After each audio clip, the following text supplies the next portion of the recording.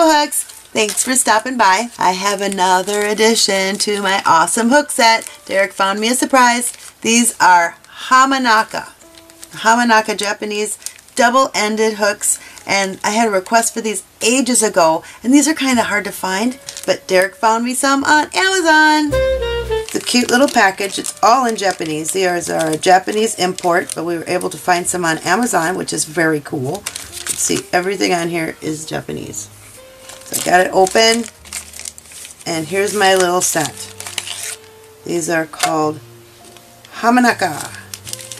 The, the Hamanaka Easily Handy Set. So they come in this little box, which is already a bonus when it comes in a tiny box. And these are double-ended. So we have 10 hooks in this itty-bitty little spot, which is very cool.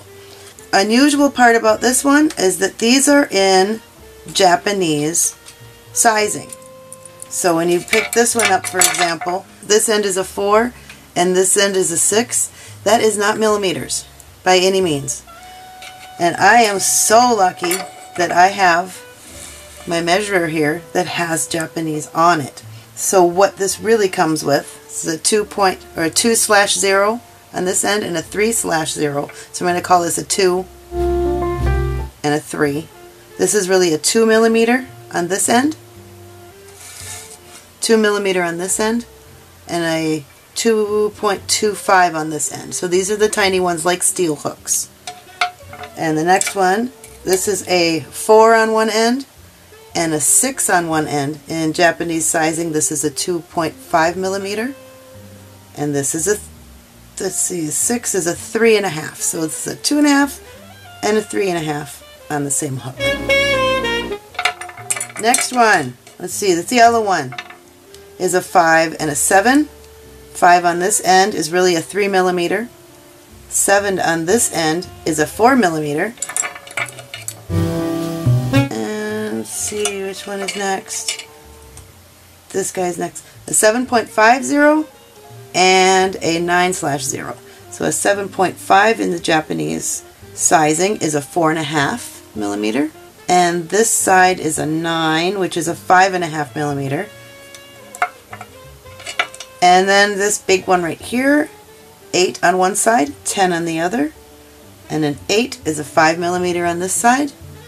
And a 6 millimeter hook on this side. It goes from a 2 up to a 6 in this itty bitty little set. And I'm excited by these. So I am going to take the one that is a 5.5, which is the 9 five and a half millimeter because I've just got some Red Heart Super Saver and this is persimmon. Just going to try these out a little bit. Hopefully you can see this on camera here. Maybe this blue one will work the best. It has little flat grips all over the place on here. There's one, two, three, four for your thumb. And you know that that is huge for me. So no matter how you hold, even if you do a knife hold, or a pencil hold. So you can see that's all ridged right here. Flat spot there for my thumb. And there's actually a flat spot on the other side for my fingers too. And when you turn it over, it does the same thing. It is awesome. I really, really like the grips on these. These are these are really nice. The sizing is not etched into the grip. However, it seems like it's on there very nicely. It's stamped on and then covered with plastic. So I don't think this is going to rub off. Hopefully not. Because it seems like it's on there very, very nicely. So more brownie points. Alright, I'm going to give this a try. I'm going back to the green one. So far, so good. These are awesome. So make sure that they are not going to snag anything. And I want a 5.5 millimeter, which is the 9. So that's this side. Just going to do a quick slip knot and just do a few chains and then work back down it again. They're a little bit shorter, so you have to get used to the idea that there's another hook in the palm of your hand, but it's not sharp. So that's not bothering me at all. Alright, so there's a little chain with my persimmon. I'll just work back down my chain here really quick just some single crochets and my yarn is stuck there we go Very nice and smooth. Okay, I like these a lot. Ooh, I like these a lot. Work all the way down to the end here. Not a snag at all. There's my little single crochets all the way down. These are very nice. Very well crafted. Go through all of them. I've done this already. But there's not a snag in the bunch. And the grips are very smooth. This part at the edges is not jagged. It's not going to catch anything. Not on any of them. So that's a bonus. This is getting good. I like this. These are fun. Alright, so far so good. These are great. I have the Clover measuring system here that actually has Japanese on it. But they are not exactly the same as the other chart that I've found, which is strange because it has Japanese on it too, right here along the way. So we're going to compare the two. As you can see, this side, where we can go through here, we have a 2 slash 0 in Japanese. It says it's a 2 millimeter hook. Okay, that one matches. Now this is a 3 slash 0, which on a different chart I saw was a 2.25. This says it's a 2.3. So these numbers are off a little bit from what the other chart that I saw was. And then on this one, they're even more um, unusual. And a 2 says it's a 2.7.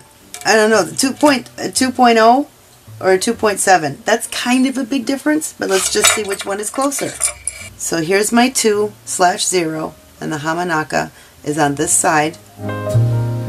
So we're going to go to, let's do this one first, because it's the little guy. So here's the Japanese sizing right here, and here's the millimeters on the bottom. This is the 2.2 slash 0. Well, that one seems to be perfect. That's a 2 millimeter hook. Alright. And on this one, it says the Japanese up here. And we go through the two. It certainly does fit, but it says it's a 2.7. It seems as though it is moving around in here a little bit more. This one was a perfect shot. So I'm going to say this really is a 2. Yay! Okay, so there's a 2. Let's see what the 3 0 is. The 3 slash 0, it says it's a 2.3 right here, which is unusual. So it'll be a 2.25. That's perfect. And the 3 up here says it's a 3.0. And again, that seems to be fitting all the way down. It's unusual. Unusual sizing methods here with this, this whole set came together. Weird that there's different information when this was a set. Right here like this. This is the four. So here's my two and a half. Right there, that's working. And the six slash zero is around the corner on this side, saying this is a three and a half. And that's working. Here's a 5. Back around this corner again. This is a 3 millimeter hook. That's working. Nice. And the 7 is right here. It's a G hook, so that's a 4. That's working. Nice. 7.5. That's the only one that hasn't just been a 0.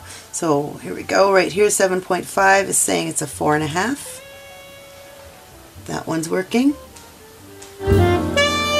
The 9 is around the corner and that's a five and a half. That one is working. This is awesome. Just, whoops. And the blue one is the only one that I have left. It's an 8, which is right here. It's supposed to be a 5 millimeter hook. That one is working. And what's our last one? Is a 10, which is over here. It's a J hook and that's a 6. So I'm going to say that yes, those are true to size. Great little case, very compact, and everything is what I would consider my go-tos. But there's 10 hooks in here, but it's only the size of five. Very awesome.